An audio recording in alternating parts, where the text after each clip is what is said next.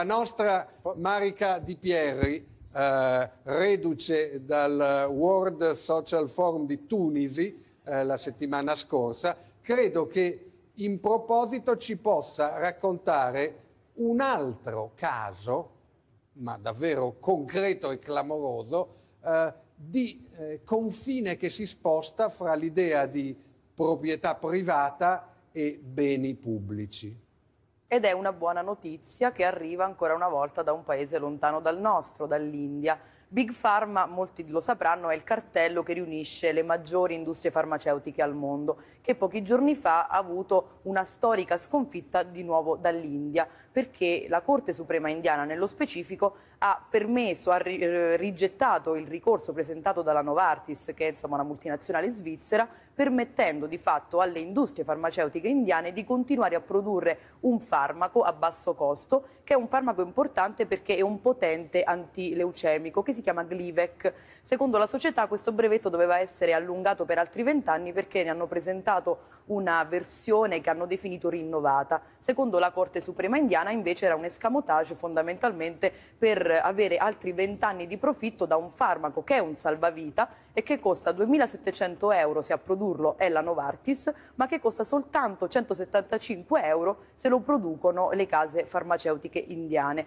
L'azienda si è difesa, come spesso accade, spiegando quanto costa la ricerca farmaceutica e dicendo che una pronuncia di questo tipo potrebbe alla lunga ledere i malati perché eh, le industrie farmaceutiche in assenza di garanzie sui brevetti potrebbero non ritenere più conveniente produrre alcuni farmaci. Di certo c'è che la guerra tra la Big Pharma e i, BIC, i BRIC, che sarebbero come sappiamo Brasile, Russia, India, Cina e Sudafrica, praticamente le nuove potenze mondiali, è in atto già da un po' e in effetti i precedenti non mancano. Già il Sudafrica nel 2001 aveva vinto la prima battaglia per l'utilizzo di farmaci anti-AIDS low cost. L'India non è la prima volta che emette sentenze contro i brevetti, lo ha già fatto contro la Roche, lo ha già fatto contro la Bayern e l'India stessa, assieme al Brasile e alla Cina, è diventato un paese importante per i farmaci generici che cerca appunto di eh, difendere ehm, promuovendo appunto il diritto alla salute contro i profitti delle multinazionali.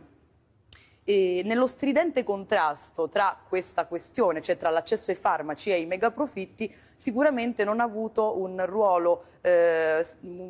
utile alla Novartis quello che è accaduto con il presidente uscente. Ed è un caso che ha fatto scalpore perché eh, Daniel Vasella quando doveva lasciare l'impresa doveva ricevere un bonus, una bonuscita stratosferica, cioè 72 milioni di franchi svizzeri che sono 60 milioni di euro, una cifra alla quale ha dovuto rinunciare proprio per il clamore che ha avuto la notizia, ma che ha portato ad una vittoria importante perché proprio in Svizzera il 3 marzo scorso è stato approvato un referendum con la stragrande maggioranza dei voti, quasi il 68%, perché eh, d'ora in poi la legge dovrà definire dei limiti ai mega stipendi del, dei manager, anche delle imprese private, cosa che fino a poco tempo fa era inimmaginabile. Il problema di fondo, l'abbiamo detto anche in molti interventi delle scorse settimane, anche quando riguarda i farmaci, è comunque lo stesso, cioè le medicine possono essere considerate una merce come le altre? Fino adesso è così, perché tutti i farmaci, anche quelli salvavita o quelli essenziali, devono sottostare al momento agli accordi commerciali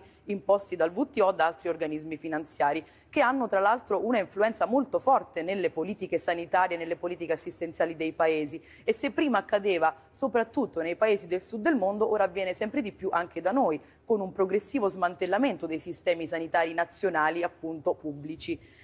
Un altro punto da non tralasciare è che però il diritto alla salute, se è vero che riguarda l'accesso ai farmaci, riguarda anche un'altra questione a monte ancora prima, cioè riguarda il diritto delle persone a vivere in un ambiente sano e non contaminato. E questo lo dice anche l'Organizzazione Mondiale della Sanità, che non a caso ha inserito l'integrità degli ecosistemi tra le precondizioni essenziali alla salute. Questo vuol dire, e insomma, mi piacerebbe affermarlo con forza, che bisognerebbe valutare prima e non dopo i costi sociali e sanitari di alcune politiche produttive, estrattive, mega infrastrutture e discariche. Oppure ad esempio che in Italia dovrebbe essere una priorità bonificare e riconvertire dei luoghi assolutamente insalubri come Porto Marghera o Taranto, soltanto per citare i casi più eclatanti, e soprattutto che dovrebbe essere impedito d'ora in poi di mettere dei poli industriali che durano normalmente pochi decenni, che avvelenano però delle città per secoli oppure per un tempo indefinibile, vista